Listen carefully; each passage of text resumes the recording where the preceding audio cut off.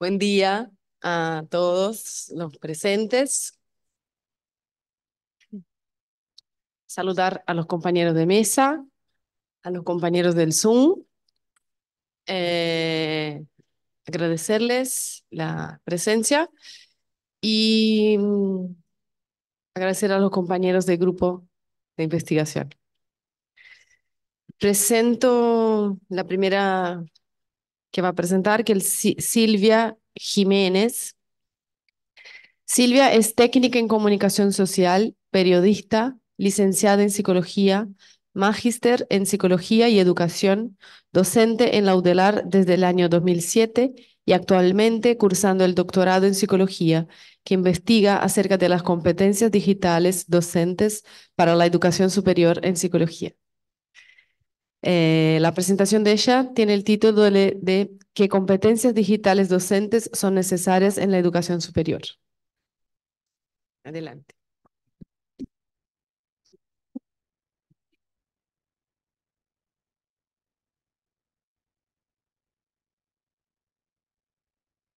Buenos días a todas y todos. Este, agradezco eh, la oportunidad de compartir esta pregunta con todos ustedes en nuestra casa de estudio. Y bueno, em, esta pregunta se fundamenta en función de uno de, de los ejes de esta jornada, que refiere a la crisis y mutación de las formas de transmisión y mediación del saber y la formación, particularmente en la Universidad de la República este, también se fundamenta en el rol que desempeño en esta casa de estudio como docente asistente o comúnmente mencionada como articuladora EVA, donde la función principal de este rol es acompañar a docentes y estudiantes en el uso de las tecnologías al servicio de los procesos de enseñanza y de aprendizaje. Por otra parte, el concepto competencia este, surge a partir de mi trayectoria como docente de Facultad de Medicina por el año 2010, em, donde, bueno, en ese momento la institución este, estaba viviendo un momento muy particular que era el cambio de estudio, donde claramente eh, el movimiento de lo instituido y lo instituyente se hacían muy presente y bueno, y allí concluye o concluyo con la investigación que se llamó el desarrollo de competencias eh, para el estudiante de primer año de Facultad de Medicina. Investigo básicamente eso y este, está disponible en Colibrí, em, digamos, la, la, tesis, ¿no? Em, básicamente lo que yo rescato de ese trabajo es el concepto de competencias, porque realmente em, tuve que hacer un recorrido histórico eh, por diferentes eh, lugares para entender que eh, competencia es un sinónimo multifacético y que depende del, del contexto sociocultural donde esté inserto, es el valor que toma. Y por otra parte, este, actualmente, eh, bueno, como tema de, la tesis del doctorado, justamente es las competencias digitales docentes para la educación superior en psicología. Entonces, este, me fue muy difícil recortar eh, y poder expresar en 10 minutos todas las preguntas que me hago, pero espero poder lograrlo. Y este, particularmente em, me gustaría problematizar, aunque tengo algunas respuestas, acerca de la digitalización en la educación superior. Es decir, eh, la educación superior enfrenta una transformación digital acelerada. ¿sí? Entonces, la integración de las tecnologías con las plataformas virtuales la inteligencia artificial y la realidad aumentada, está redefiniendo la experiencia educativa. Entonces, si bien está abriendo nuevas oportunidades, también está abriendo eh, nuevos desafíos tanto para estudiantes como para docentes.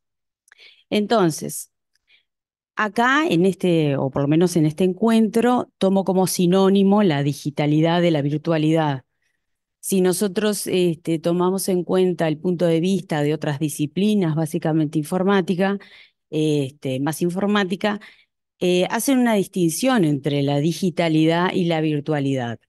La digitalidad, más bien para ese contacto que tienen tanto estudiantes como docentes, como las personas, con los diferentes dispositivos, es decir, em, para poner un ejemplo, cuando, cuando escribimos un correo, cuando nos comunicamos a través de redes. Sin embargo, la virtualidad, entendida para esta disciplina, es trasciende esto, es decir, se produce una interacción entre eh, la persona este, y los diferentes dispositivos, así como las redes y demás. Por ejemplo, lo que serían las videoconferencias o este, los juegos que podemos ver comúnmente, que eran los que mencionaban este, en torno a, a los adolescentes, a los niños y demás. Entonces, hecha esta salvedad, es decir, se toma como sinónimo digitalidad de virtualidad, es que em, principalmente lo que se rescata de esta digitalidad en la educación superior refiere a la oportunidad, a la flexibilidad de los entornos digitales que permiten tanto a estudiantes como a docentes eh, acceder a los contenidos, participar de las actividades de forma flexible, adaptando el ritmo y el lugar de estudio a sus necesidades en las medidas eh, o sea, en la medida de las ofertas educativas. También proporciona interactividad, es decir, las herramientas digitales fomentan una mayor interacción y colaboración, muchas veces, entre docentes y estudiantes, enriqueciendo los procesos de enseñanza y aprendizaje.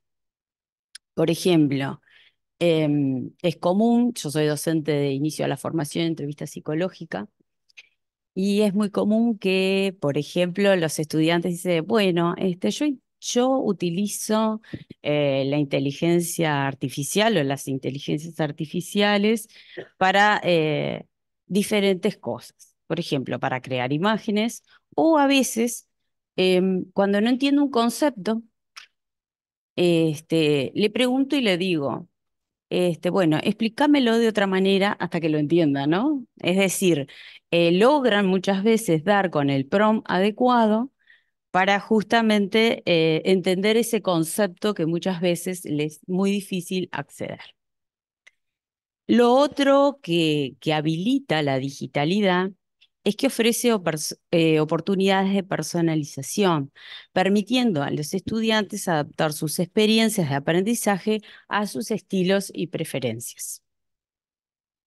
Ahora bien, eh, esta digitalidad ofrece o de alguna manera interpela diferentes desafíos y obstáculos a la educación superior.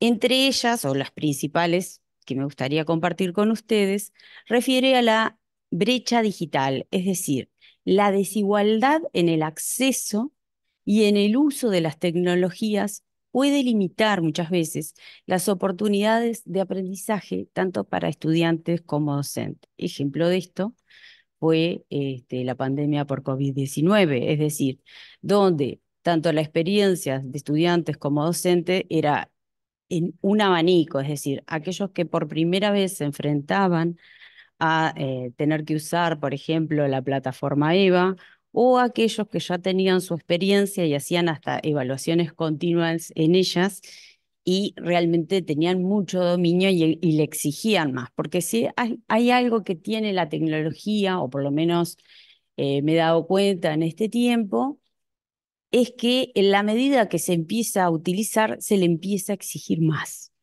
Entonces, en este abanico nos encontramos, no solo en el acceso, sino en el uso.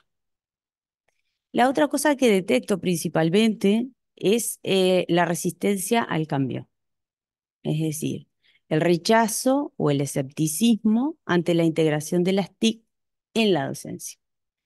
Em, creo que que la pandemia no dio lugar a esto, pero igualmente cuando volvimos a la presencialidad, este, que ya no era tan necesario, se evidenciaba este rechazo o escepticismo. El desarrollo de competencias implica integrar las tecnologías en los diversos procesos de enseñanza, es decir, adaptar los métodos a las necesidades del estudiante del siglo XXI y la educación superior. Por ahí coincido con lo que planteaban hoy, que los contextos van variando y parte de esta variación es la digitalidad. Sí. Uy. Em, bueno, eh, tenemos por otro lado la recopilación y el manejo de datos en los entornos virtuales, que también es otro de los desafíos. ¿Cómo se define el Se define las competencias digitales docentes como el conjunto de habilidades, conocimientos y actitudes que permiten a los docentes aprovechar las tecnologías en sus diferentes prácticas de enseñanza y aprendizaje. Este es un concepto armado a partir de varios autores. También eh, me gustaría desmitificar un poco eh, el tema de que las competencias solo es el uso tecnológico, sino que implica, el, implica la pedagogía y lo informacional. Y por último, y para ir redondeando, este, me parece que es importante que se investigue, es decir, se identifiquen las fortalezas y necesidades en el uso de, las tecnologías para la docencia universitaria, es decir, con las particularidades que tiene nuestras funciones sustantivas y, este, otras funciones. Eh, también entiendo que es importante planificar, diseñar un plan de desarrollo profesional adaptado a las necesidades de los docentes, también me parece que es importante hacer proyectos innovadores donde las iniciativas que integran las TIC de manera creativa, o sea, permitan eh, integrarlas de manera creativa. Incentivar las, las certificaciones también, porque de nada sirve utilizarlas si eso no me da algún mérito como docente, ¿no? Y bueno, y sin lugar a duda la formación, el intercambio, es decir, la participación en cursos, talleres, programas de capacitación y comunidades de práctica, donde se establezcan eh, redes de docentes que compartan conocimientos y experiencias. Por acá creo que llegué en tiempo. Gracias.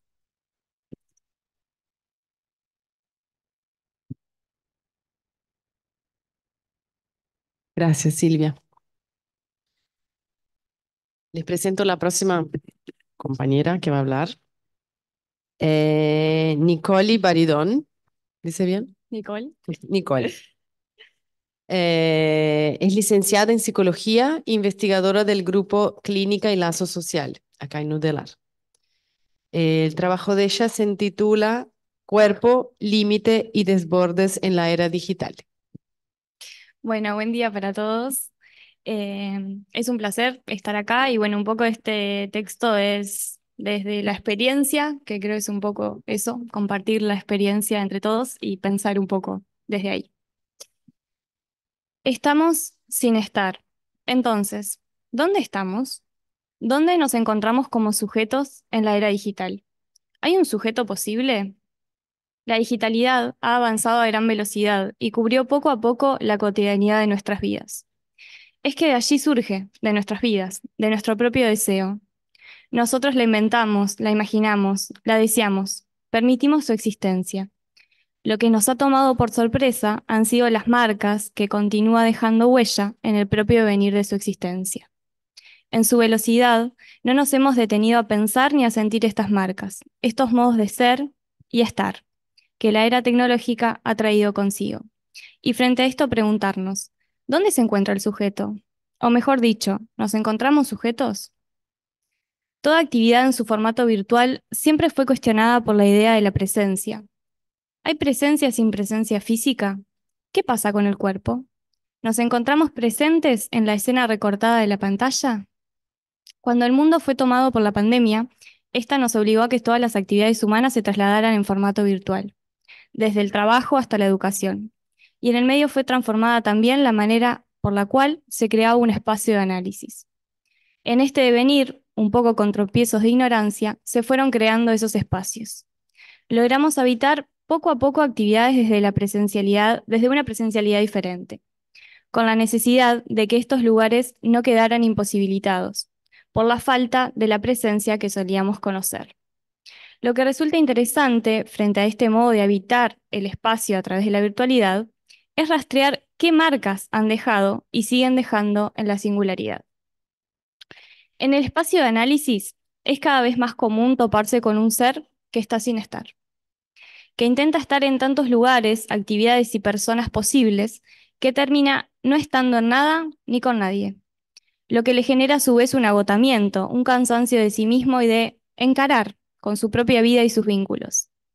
Para esclarecer lo mencionado, me remito a las palabras de un paciente, quien teletrabaja y se formó en diseño web, el cual muy afligido me decía en análisis, estoy un poco en cada lado, pero en verdad no estoy en nada. No sé mucho de nada. Comienzo los proyectos y no los termino. No conozco de todo a las personas con las que me relaciono. En particular, me cuesta elegir por algo o por alguien, renunciar a lo demás. La falta de iniciativa y toma de decisiones es un padecimiento que aparece en estos momentos en la clínica, lo cual nos habla de un sujeto desorientado, sin proyectos, más bien en eyecto, atrapado en una imaginaria hipnotizante. Un rasgo similar a la cualidad de omnipresencia que habilita la tecnología, donde se crea una sensación de poder estar en muchos lugares a la vez, de verlo todo, de poseerlo todo, eliminando la pérdida.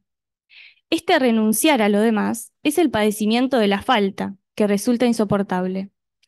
La ilusión de omnipresencia no solo produce una desconexión de los sentires del propio deseo del sujeto, sino que además acrecienta la dependencia de la validación externa, que termina dejando al sujeto en una comparativa constante, con una pérdida de confianza en sí mismo, viviendo un tiempo distorsionado que implica la inmediatez y la gratificación instantánea.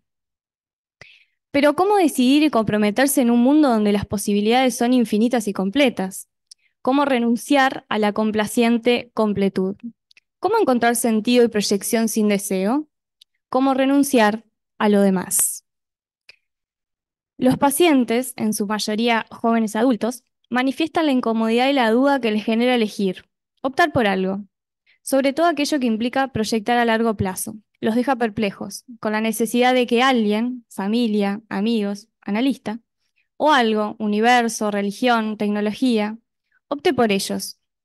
Cuando esta respuesta no aparece, se desbordan. Terminan el vaivén de presencia y ausencia, buscando ser omnipresentes, donde se borran como sujetos deseantes. Puntualmente una joven paciente, quien trabaja en redes sociales, me traía a sesión. No sé lo que quiero, a veces me pregunto si algo me gusta de verdad o solo lo hago porque es lo que los demás aprueban. Eso que está bien visto. Vos que ahora me conocés, ¿sabés qué quiero?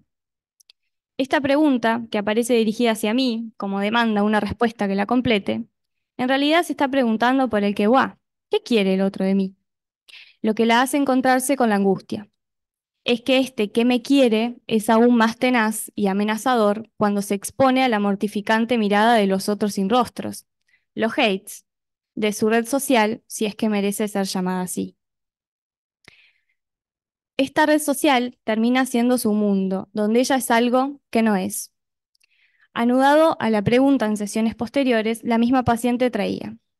Muchas veces me miro y no sé bien quién soy, mi cara y mi cuerpo. Con las ediciones en las fotos me reconozco en eso que miro y muestro, pero después me veo en el espejo y no soy esa. No solo la búsqueda de estar en todos lados sin estar desorienta y desborda el sujeto, también el lugar del cuerpo y su imagen distorsionada, modificada, hasta muchas veces borrada, produce una sensación de no estar, de no reconocerse y de no ser. Entonces, ¿qué lugar tiene el cuerpo en las lógicas digitales? ¿El cuerpo tiene límites o se encuentra desdibujado? ¿Estamos buscando eliminarlo para, liberarnos de sus límites o los límites se han borrado y con ello la metáfora del cuerpo? El cuerpo, entendido desde el psicoanálisis, se sostiene en las dimensiones de lo imaginario, lo simbólico y lo real. El cuerpo, pensado desde el psicoanálisis, siempre implicó ir más allá del cuerpo biológico. Desde Freud, con el estudio de la histeria, hasta Lacan, en su propuesta, el inconsciente está estructurado como un lenguaje. Podemos decir que lo que es del orden del inconsciente no es sin algo del orden del cuerpo, y que el cuerpo tendrá, tendrá la peculiaridad de habitar el lenguaje. Es el mismo cuerpo, es el lugar de origen, es el lugar del gran otro en donde se inscribe la marca en tanto que significante. Entonces, si el cuerpo es el gran otro, es por lo tanto el lugar de la marca. El cuerpo es una metáfora, un efecto de la inscripción de esos primeros significantes. Las marcas del lenguaje son marcas en el cuerpo y estas marcas significantes van marcando los orificios, los agujeros donde la pulsión va a ir haciendo el recorrido. Cuando eso está fallido, todo queda desbordado lo que hace que el cuerpo quede en la dimensión de un artificio, un cuerpo suelto o puro cuerpo, sin la dimensión de lo simbólico. La palabra es una palabra suelta, sin estar articulada, no hay anticipación, el cuerpo se viene encima. Esta falla puede asociarse a cómo hoy día el sujeto, en sus primeros momentos de vida, se encuentra con un gran otro digitalizado, mecanizado, desconectado, que está sin estar, que no necesariamente es un aparato tecnológico, sino un cuerpo que ha perdido su capacidad de divinizar al otro. En la contemporaneidad, más allá de las modificaciones del cuerpo biológico que se buscan incansablemente, se ha instalado una visión del cuerpo como pecaminoso, ya conocida, pero con la peculiaridad que la tecnología es el nuevo Dios. Esta perspectiva contrasta un cuerpo imperfecto con una tecnología perfecta, planteando que el cuerpo debe ajustarse a las circunstancias y tendencias. De acuerdo con esto, el cuerpo ya no define la identidad esencial, sino una identidad circunstancial. La identidad se desdibuja, siendo el texto el sustituto del sexo y la pantalla el del cuerpo. Internet se presenta como el tejido carnal y el sistema nervioso de quienes menosprecian su propia corporalidad, la cual se percibe como anticuada e insuficiente en este universo tecnológico. La tecnociencia propicia la inmortalidad, intentando reconstruir el cerebro en una computadora y dejar de lado el cuerpo. Proponen guardarse en un disquete, reemplazando el cuerpo por la máquina. La búsqueda de una eliminación del cuerpo nos habla de un desborde de los límites de este cuerpo, de que las marcas significantes ya no son instauradas y de que no es posible sostener el propio cuerpo ni el del otro. La extinción del cuerpo y su exacerbada modificación real e imaginaria incita al desborde no solo corporal, sino psíquico, ya que estos bordes propician la armadura necesaria para darle una forma a este cuerpo y así afrontar la falta. Es observable esta vulnerabilidad corporal frente a la falta en el consumo problemático, cualquiera sea el objeto de goce. Se observa la búsqueda de una suplencia narcisista que intenta evadir la falta. La propia castración, la suplencia es la respuesta frente a la imposibilidad de simbolizar la demanda del gran otro, cuando este gran otro está demasiado lleno. Así como también la suplencia del tiempo, escapar del tiempo, quedar en este limbo de estar sin estar. En estos excesos hay algo de la singularidad que se va perdiendo, en una incansable búsqueda de tapar la falta que nos constituye como sujetos. David Le Breton, en su conferencia magistral titulada Adiós al cuerpo, dice, pensar el cuerpo es pensar el mundo, es un tema político. Es que en esta era digital, la dicotomía entre cuerpo y tecnología se presenta como un desafío a ser problematizado. Mientras que el cuerpo humano ha sido durante mucho tiempo locus de la identidad y la experiencia, la omnipresencia de la tecnología con sus lógicas de completud y perfección han llevado a una revaluación de su importancia, incluso de su propia existencia. Desde el reemplazo del cuerpo como objeto de deseo hasta la búsqueda de la perfección digitalizada, nuestra relación con la corporalidad está en constante cambio. Lo que debe ser advertido, en la propia velocidad del mismo, es que el cuerpo con su falta sigue siendo el vehículo de nuestra experiencia en el mundo, virtual y real. Resulta necesario pensar la clínica y al sujeto desde la problematización de las marcas que dejan las tecnologías en nuestra propia singularidad y en nuestro propio cuerpo. Muchas gracias.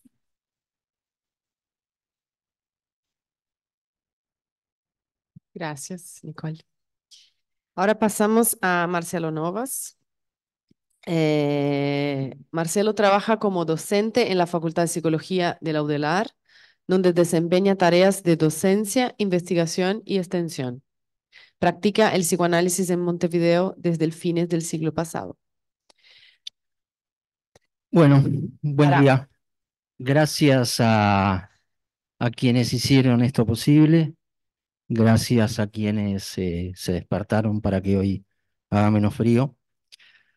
Voy a a compartir con ustedes un texto que hace tiempo que vengo dándole vueltas y trabajándolo y nunca me deja muy conforme.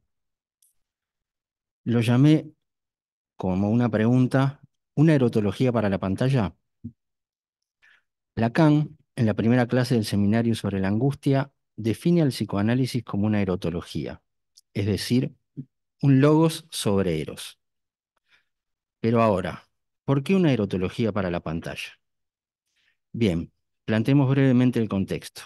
El contexto refiere a la atención remota a partir de la irrupción del coronavirus y cómo las tecnologías de la información y la comunicación impactan en ella.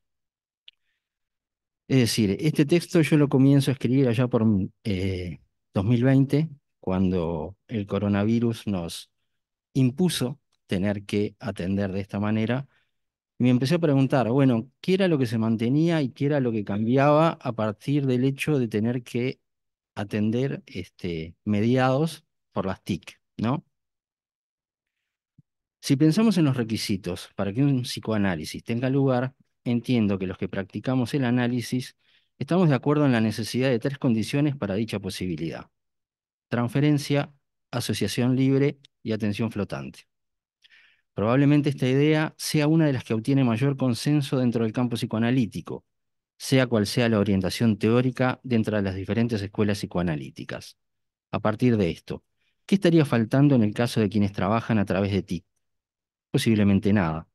Creo que estas tres condiciones pueden cumplirse perfectamente trabajando de manera remota. Lo único que entiendo que no es igual, y no estoy diciendo peor o malo, sino que no es lo mismo, es la dimensión erótica del campo transferencial.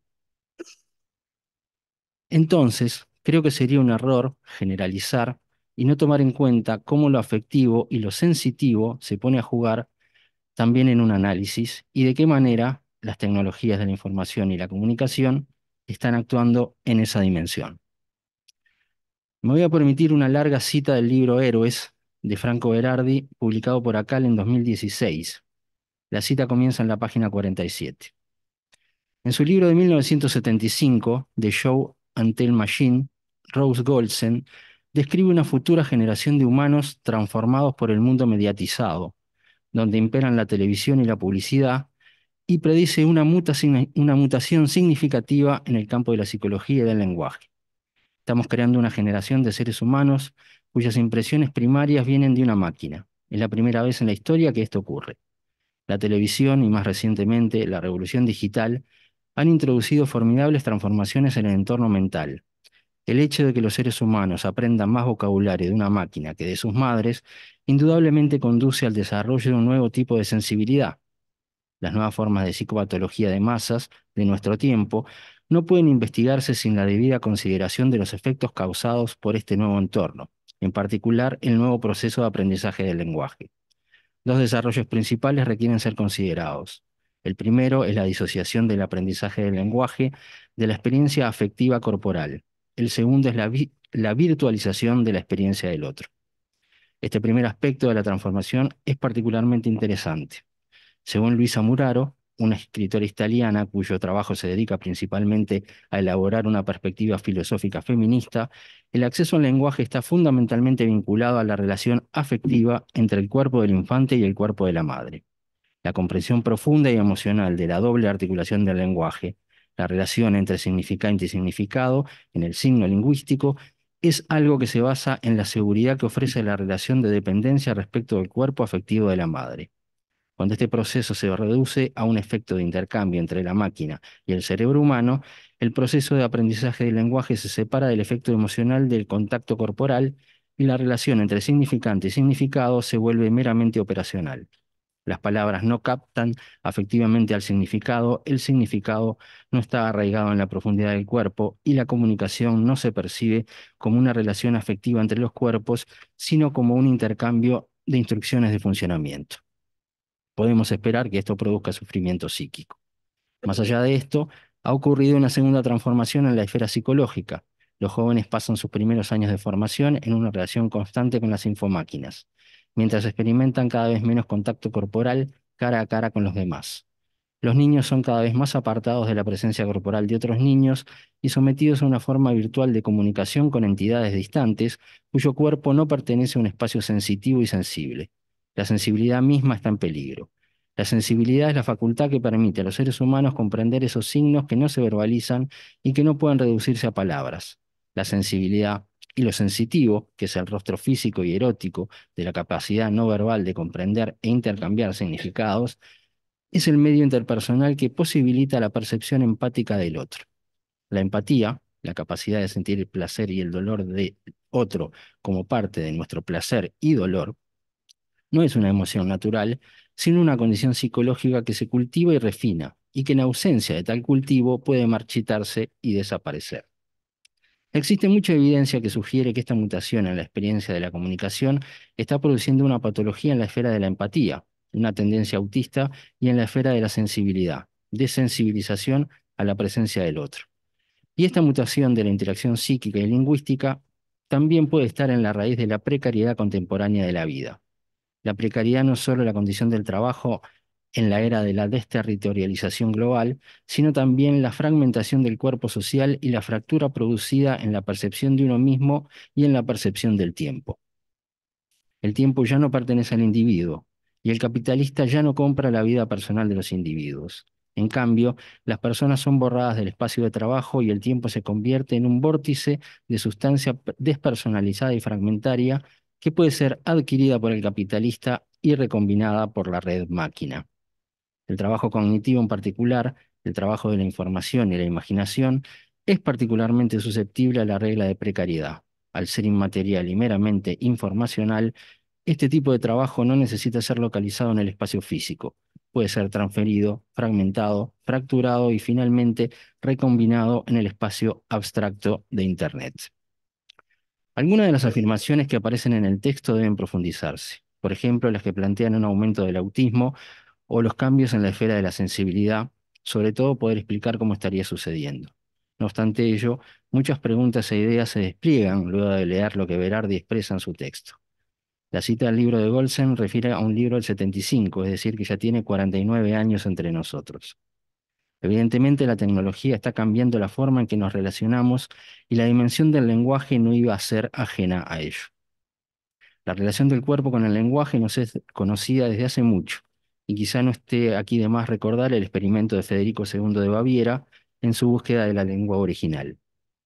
En su experimento, los niños no eran privados del contacto corporal, pero sí de la emisión de las palabras, lo que tuvo efectos terribles sobre todos ellos, como nos cuenta Humberto Eco en la búsqueda de la lengua perfecta. Aquí la ocasión será la inversa. Estaremos frente al hecho de poder compartir nuestro lenguaje, pero con un cuerpo recortado. Se mantendría la voz y la mirada, faltarían los demás sentidos.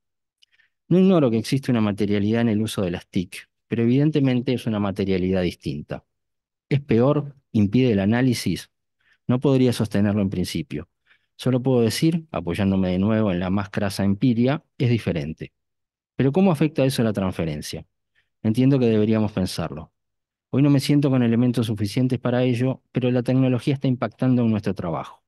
¿Qué pasa con el amor de transferencia cuando éste se despliega mediado por estas tecnologías? Hasta hoy no había tenido que pensarlo, pero hoy sería un error negarse a hacerlo. Tengo entendido que algunos dispositivos ya pueden sortear el test de Turing, por lo que no sé cuán distópico puede ser pensar que alguien se analice con un programa de software. Me quiero tranquilizar pensando en Her, la película de Spy Jones, donde allí se trataba del amor, y sabemos que el amor no es lo que el psicoanálisis propone como cura. Pero insisto, cómo abordar el amor de transferencia mediado por estas tecnologías. Quizá debamos de empezar a considerar la posibilidad de un psicoanálisis realizado sin la presencia cercana del analista y qué efectos eso llegará a tener. En un texto reciente, La imposible dedicatoria, Paul B. Preciado nos cuenta cómo recibió un gesto de cariño, largo tiempo anhelado, de parte de su padre, a través de la pantalla en la que realiza su videoconferencia diaria a causa de la cuarentena que sufrían juntos, es decir, al mismo tiempo. Seguimos en el plano del amor, del amor filial en este caso, y gracias al talento literario depreciado, lo que se nos transmite es el impacto del afecto recibido. Entonces, no deberíamos negarnos a investigar cuál es y cómo opera la diferencia de los afectos y la sensibilidad en un análisis llevado de manera cercana o uno llevado adelante de manera remota. sobre todo en función de la introducción de estas tecnologías. Voy a cortar un poco porque si no, no voy a llegar.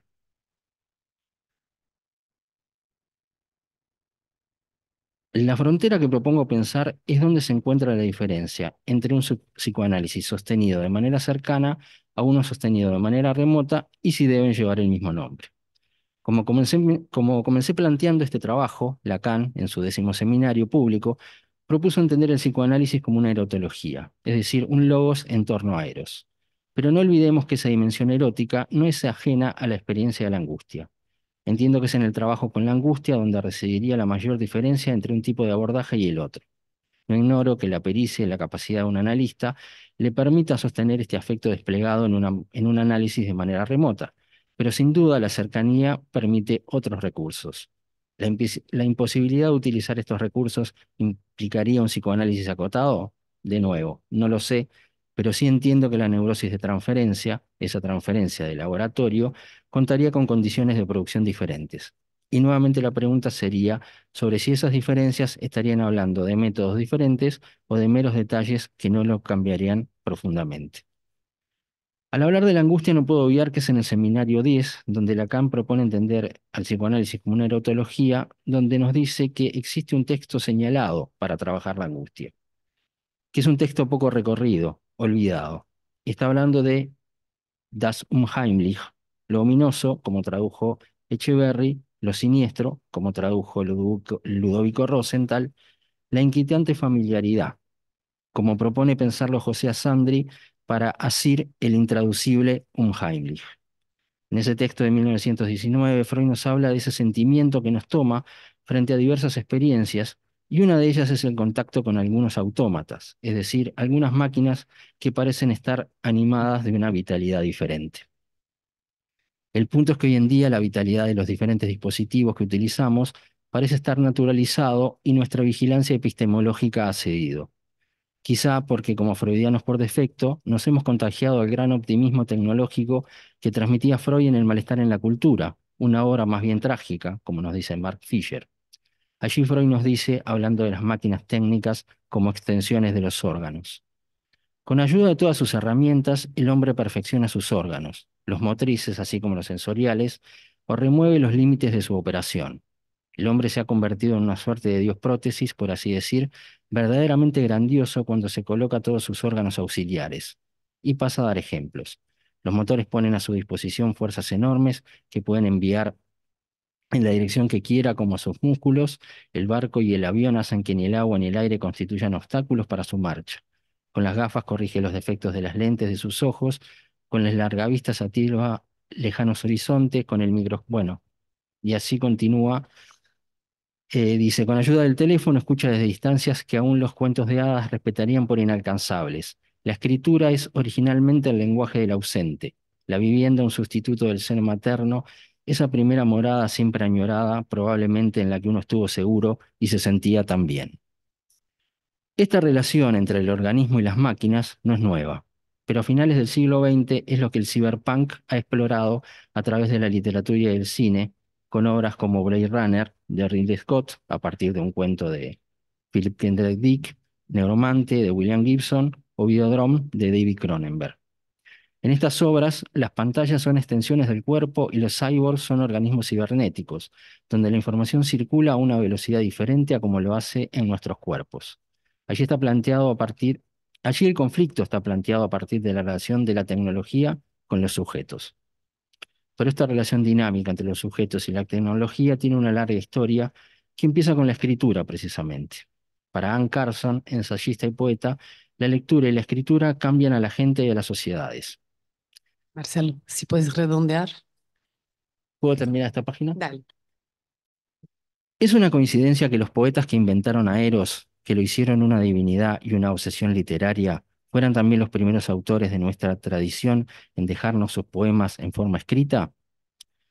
Esta dimensión divina o literaria no deja de afectar a los cuerpos. Un individuo que vive en una cultura oral utiliza sus sentidos de manera diferente al que vive en una cultura alfabetizada. Y esa utilización sensorial diferente viene acompañada de una manera diferente de concebir sus propias relaciones con el entorno, de una concepción diferente de su cuerpo y una concepción diferente de su yo.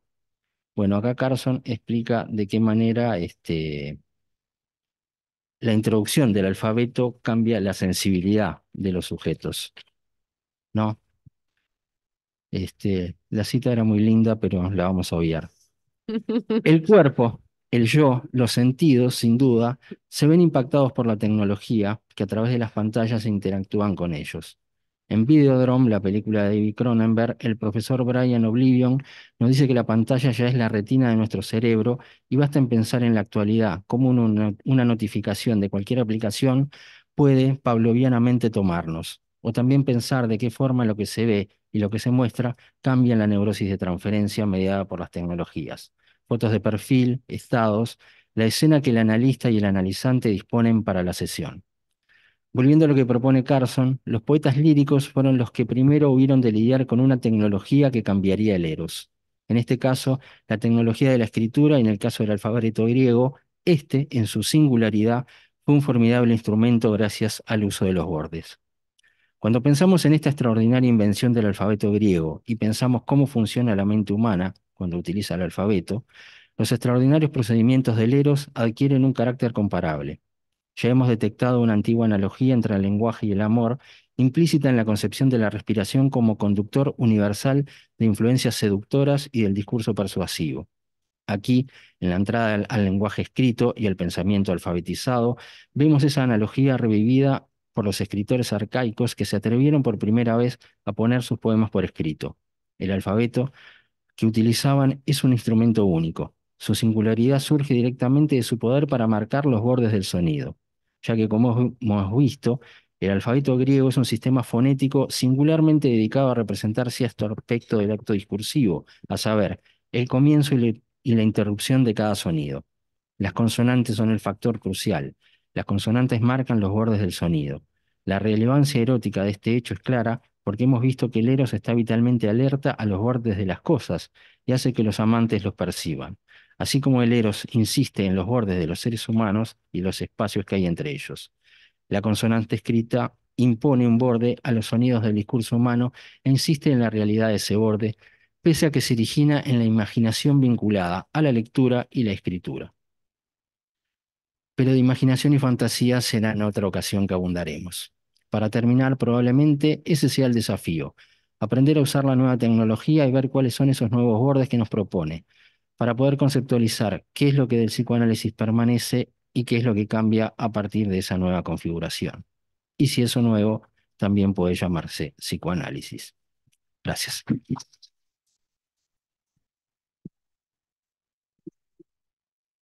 Gracias, Marcelo.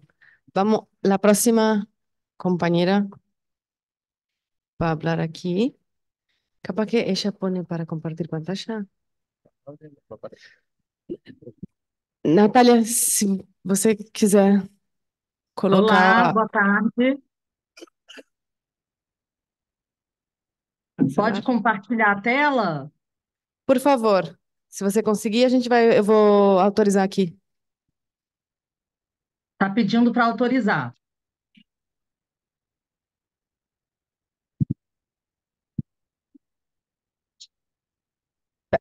Está dizendo aí que está pedindo?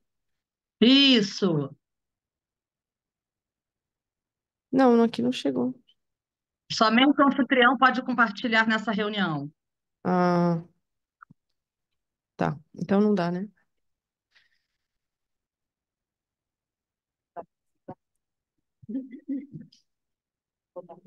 Ah, é, põe aí, seguridade. Agora, agora por- pede, tenta pedir de novo, por favor, Natália.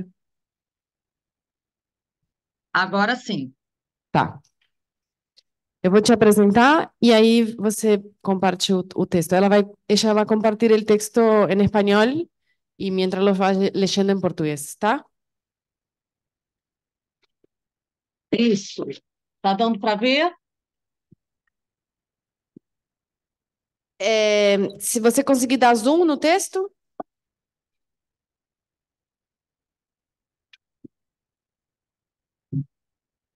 não sei se vai dar, né? Para mim, aqui daria no máximo assim. Como fica aí para vocês? a não ser que virasse ele, né? ¿Esa es la traducción? Esa es la traducción, sí. ¿Se, se ve algo aí? Tá. Te presento, eh, vou te apresentar e você começa, tá, Natália? Ok, muito obrigada. Natalia es AME de la Escuela Lacaniana de Psicoanálisis del Río de Janeiro. El trabajo de ella se llama El Admirable Mundo Nuevo. Bom, vamos lá. O Admirável Mundo Novo. A epígrafe é do poeta Manuel de Barros, um poeta brasileiro. As flores dessas árvores depois nascerão mais perfumadas. A excelência de uma obra literária é sempre difícil de ser medida, e por mais que tentemos classificá-las em gêneros a fim de facilitar nosso conhecimento pela obra, jamais somos capazes de dar um sentido único e determiná-las inteiramente por critérios. É mania nossa rotular tudo o que nos rodeia. Tenhamos então cuidado. O Admirável Mundo Novo é um clássico da literatura que já foi analisado, classificado, esquecido e várias vezes retomado para pensar e questionar o homem, lançando um olhar sobre o futuro. Huxley nos oferece uma visão pessimista e antecipa mazelas de um mundo que chegou ao ápice do progresso científico e tecnológico num meio ambiente distópico. Teria ele capturado parte do nosso presente em seu passado? Ou seríamos nós que estamos fadados a repetir o passado em nosso presente? Num futuro que talvez não seja tão distante, os seres humanos são produzidos no sentido industrial do termo, criando indivíduos que não mais questionam seus destinos. No mundo novo, o homem terá transformado a si mesmo em máquina, perdendo totalmente sua razão de ser. O mundo que nos alerta sobre as manipulações midiáticas e sobre os riscos e perigos que surgem quando progressos científicos e tecnológicos se chocam, pondo em risco as escolhas e o desejo do homem.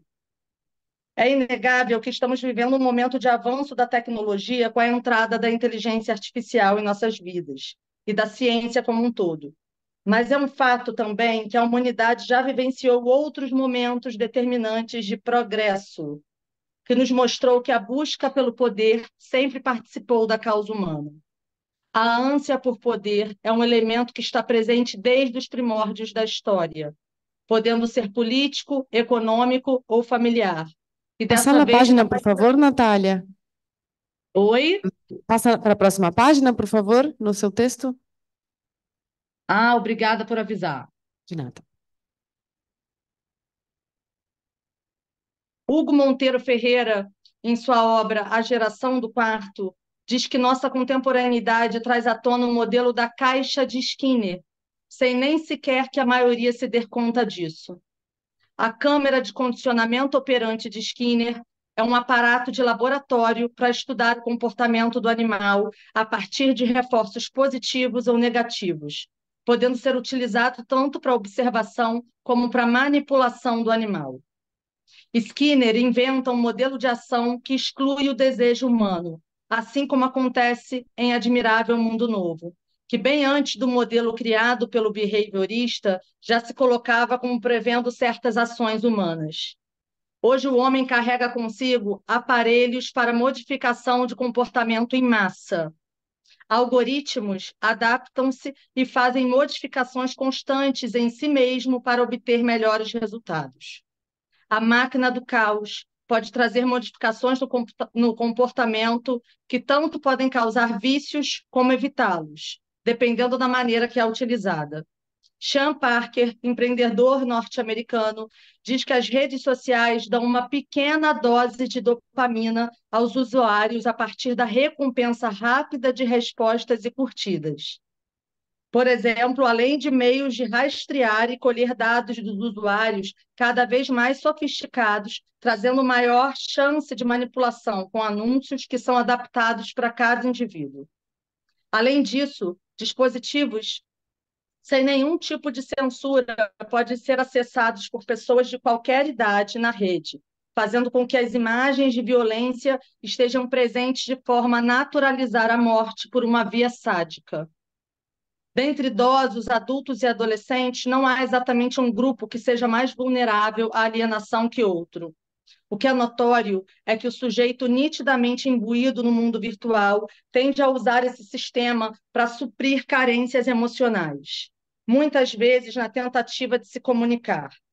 É o caso de muitos jovens adolescentes que, diante do desamparo e do não reconhecimento como atores sociais, buscam a rede na tentativa de receber respostas, orientações e se incluir em algum grupo para se sentirem pertencentes. A adolescência é um período mais difícil da passagem da vida humana. As mudanças corporais, junto à separação da criança idealizada que se foi no desejo de seus pais, trazem à tona um profundo sentimento de solidão e não compreensão de suas novas ideias e perspectivas sobre si. Passa a página, por favor, Natália.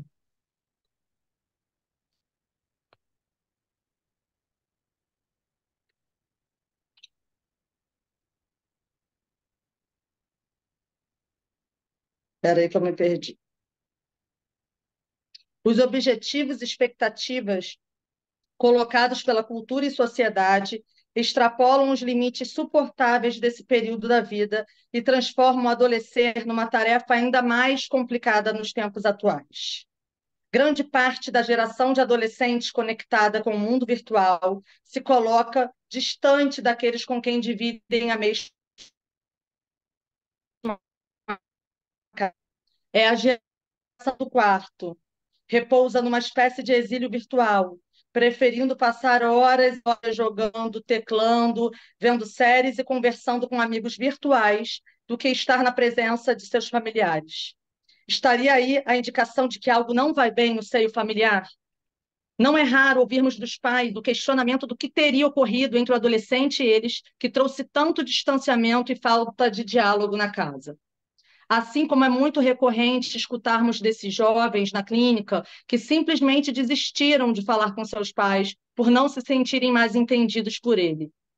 Assim, preferem ficar no quarto, que se apresenta como palco da possibilidade de um mundo diferente. Quando o jovem se isola e mostra desvinculação afetiva com sua família, ele denuncia que não é somente ele que está adoecido, mas todo o sistema familiar. Alguns jovens adolescentes nos ensinam que o desamor vindo da família é um dos maiores males da vida de um sujeito.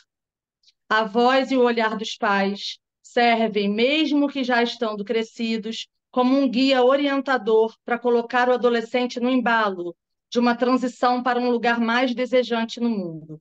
É necessário escutá-los e reconhecê-los como sujeitos do desejo. Sem dúvida, a família que interessa a psicanálise é a que constitui a realidade psíquica ao sujeito adolescente.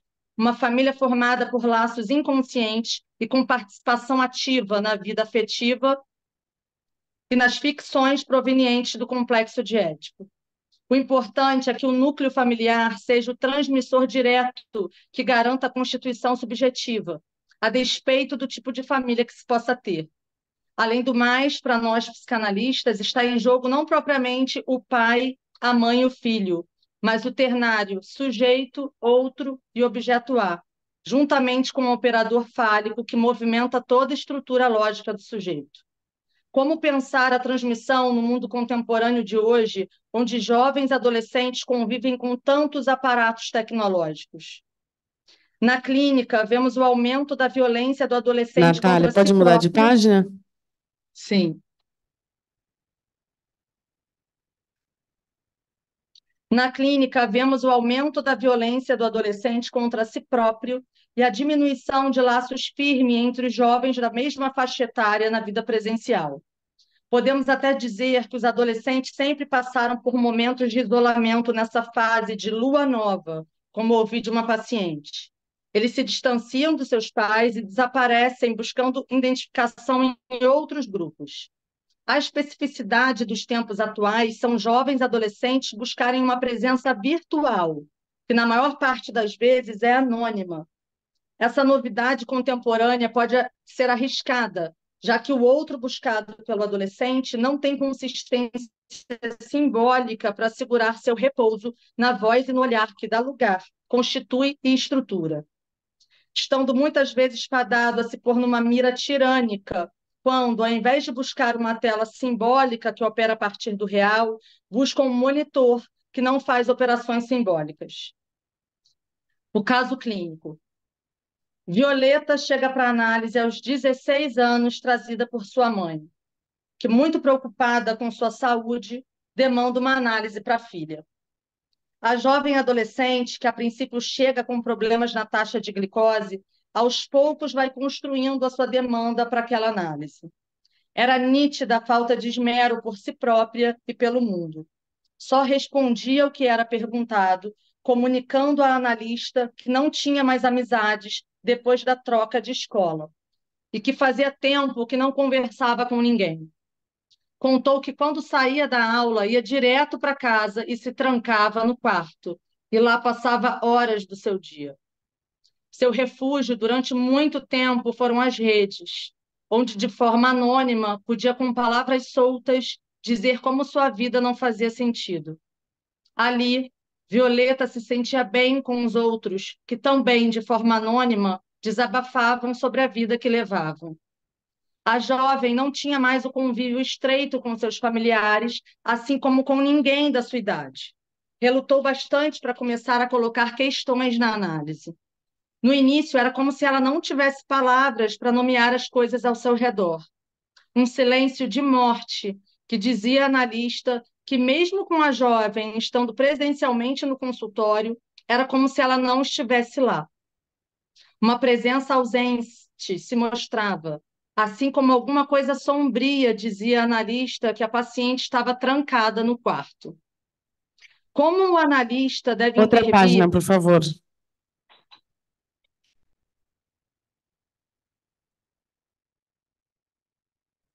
Um analista deve intervir quando escuta nas entrelinhas que algo terrível pode vir a acontecer com um jovem que não necessariamente se dá conta do que diz. A paciente não falava somente com as palavras.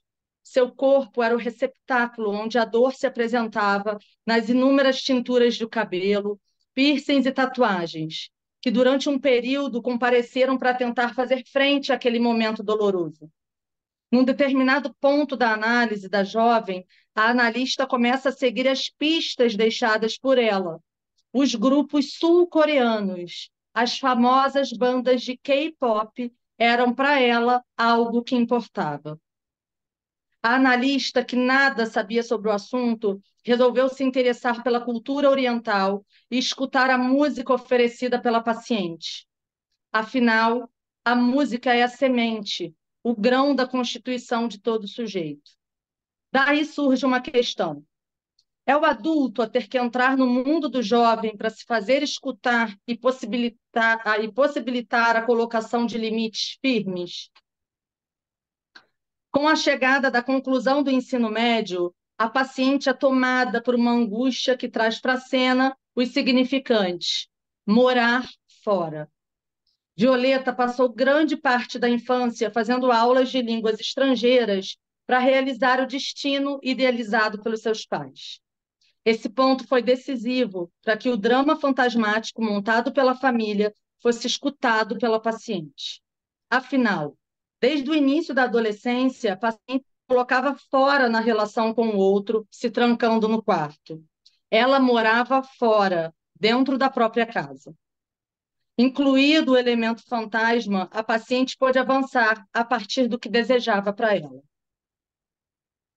Esse caso clínico não pode ser visto sem que se inclua a relação da família com a análise da paciente. Foram muitas as conversas com os pais para que os significantes que a princípio eram alienados, morar fora, pudessem emergir e ser trabalhados pela via da repetição e transferência. É papel do analista se colocar como suporte para o adolescente atravessar o drama infantil e a entrada na vida adulta, mediando os lugares estruturais para o reconhecimento de uma falta no campo do outro. Separar-se dos pais é uma condição necessária para a autonomia e autorizar-se a partir de seu próprio nome. Não acontece de uma só vez e Outra nem de uma página. vez por todas.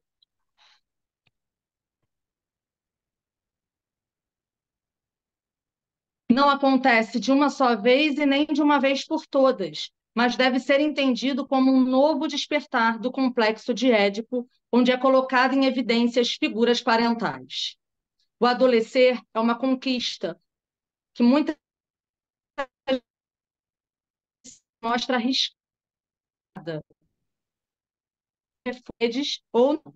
O sujeito pode vir a dar uma resposta inventada para, a partir disso, ver despontar um admirável mundo novo. Obrigada.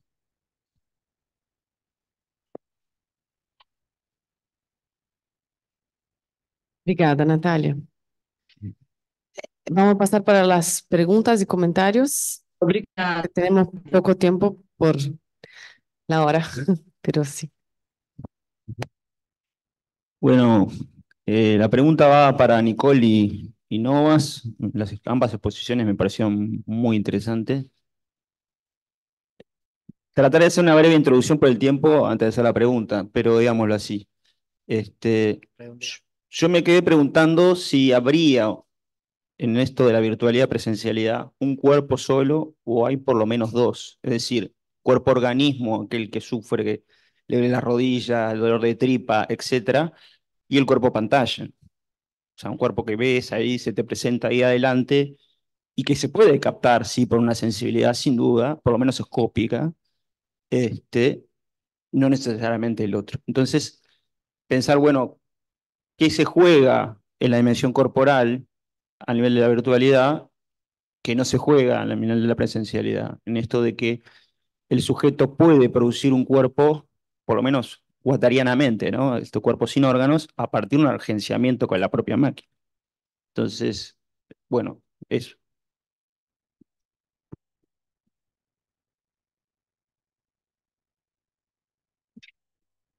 Me pasaste la pregunta. Sí, eh, bueno, creo que es, que es una pregunta muy válida. Eh, me parece muy interesante esto de pensar como dos cuerpos, ¿sí? Eh, yo marcaba esto, ¿no? Como del psicoanálisis no solo pensamos en el cuerpo biológico y ahí ya vemos que no hay un solo cuerpo, ¿no? Em, y esto me lleva a pensar, no sé si voy a responder tu pregunta, pero que capaz que abro otra, eh, en esto de que aún pensamos eh, los dos mundos como separados, ¿no? Como que habitamos ambos, pero hay una entrada y una salida, ¿no? Eh, y que a mí me parece esta pregunta bastante compleja si llegamos a algún momento en donde no haya una salida de ese otro mundo, ¿no? Que quedemos ahí. y en donde ese cuerpo se vuelva solo ese cuerpo más imaginario, ¿no? O más creado en este mundo virtual. Por ejemplo, no sé, pensando en esta idea del metaverso que aparece por ahí, ¿no? Como algo que está y no está. Eh, creo que por el momento tenemos esto, de estar con estos dos cuerpos, de estar y no estar, y de entrar a ese mundo virtual y salir también, y de conjugar estos dos mundos. Por ahí. Ni idea. Eh, te diría a partir de tu pregunta lo que se me ocurre contestarte. Entiendo la transferencia como esa dimensión entre analista y analizante. En el caso de un análisis llevado adelante con tecnologías de la información y la comunicación, me parece que hay algo mediando que va a estar jugando en esa corporalidad. Este, porque no sé, lo vemos con los dispositivos, que te toman el cuerpo. Este, entonces, ¿cómo llevar adelante un, análisis así? Creo que es algo que tenemos que pensar. Porque evidentemente va a afectar en el cuerpo. No, no, no hay posibilidad de que no ocurra.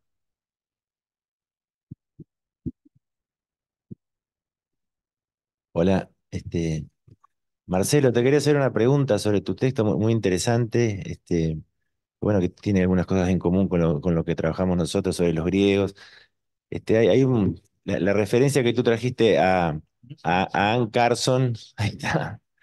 La referencia a Ann Carson, este, cuando dijiste que, em, que los mismos poetas que empezaron a poner por escrito, por escritura alfabética, ¿no? a su poesía, crearon Eros, pues empezó a, diseñar ahí la, la figura de Eros Mi, mi pregunta era eso, o sea, porque uno, una la idea que, que se hace es que el alfabeto, o de, cierta forma, eh, ciñe, constringe, ¿no? Reprime algo de, que tiene que ver con la oralidad, con la poesía, que sería oral, digamos así, ¿no? Entonces, como que la enchaleca un poco, ¿no? De, este, to- toda esa multidimensionalidad del oral eh, que, que pasa a, quedar este, ceñido eh, a una, a una línea, ¿no?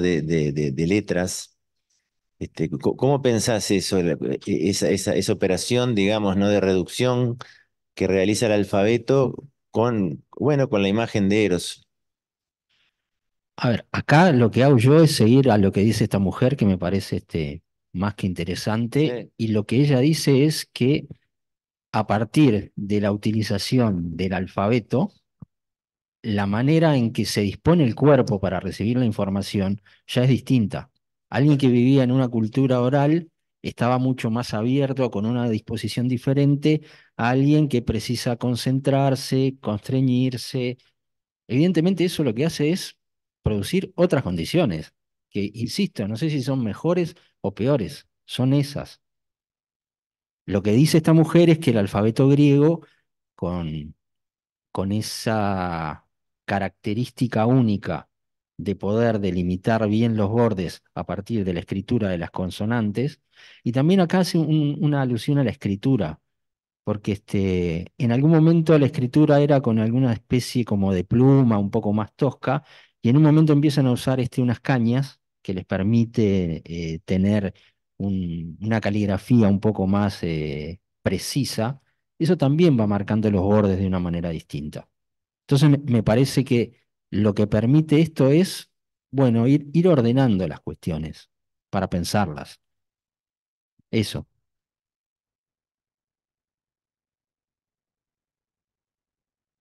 Ah.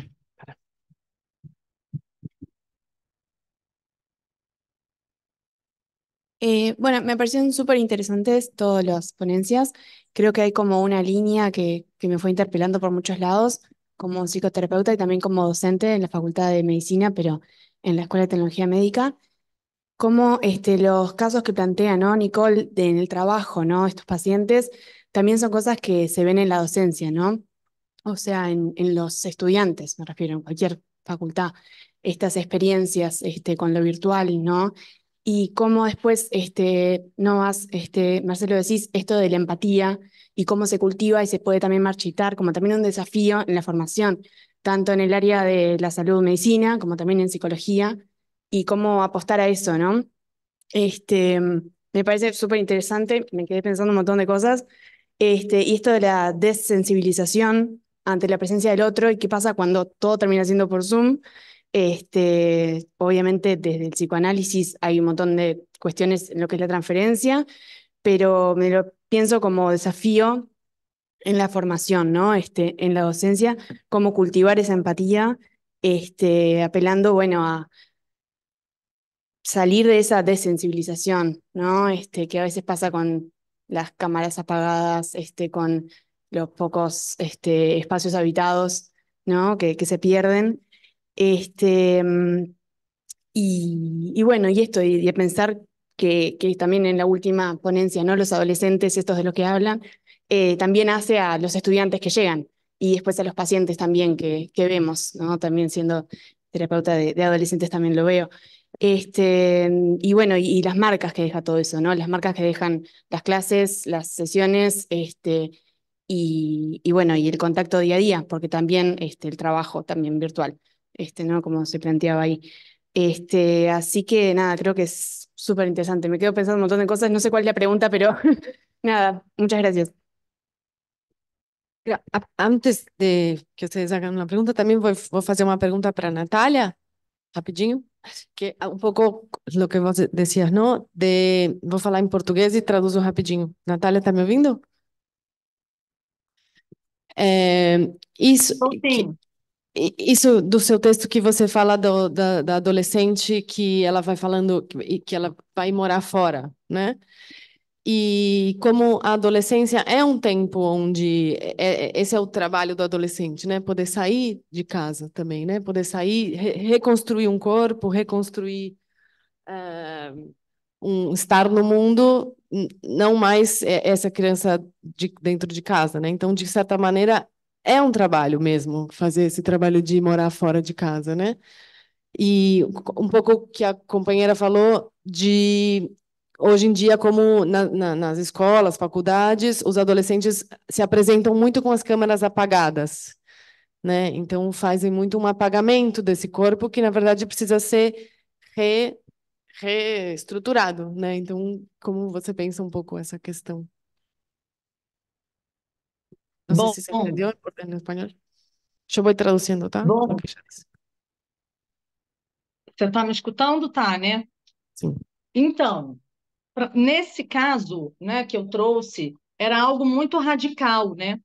A adolescente ficava trancada no quarto sem, sem se enlaçar a outros grupos, En né? el caso, la adolescente se Então, quedaba tinha- en casa sin enlazarse a otros grupos. Exato. E aí eu fico me perguntando, né, se é, não tivesse ocorrido essa análise, o que que teria acontecido, né? Ela estaria ainda trancada no quarto? Porque a adolescência é um momento de passagem, mas eu acho que os aparatos tecnológicos talvez estejam dificultando essa passagem. Que los aparatos electrónicos están dificultando la pasaje, que si no hubiera tenido ese análisis, quizás la, la chica no hubiera salido nunca, ¿no? De ese lugar, del cuarto.